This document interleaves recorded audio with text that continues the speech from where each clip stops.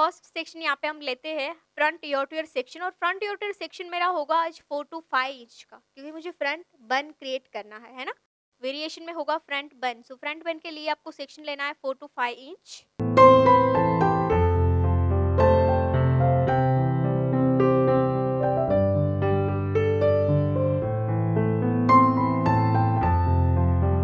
इसके बाद second section यहाँ पे हम पोनीटेल क्रिएट करेंगे। आपको जितनी हाइट पे पोनी चाहिए, उसके अकॉर्डिंग आपको पोनी बनानी है। यहाँ पे ना आपको सेक्शन डिवाइड करना है तो इस तरह से सेम टेल को रख के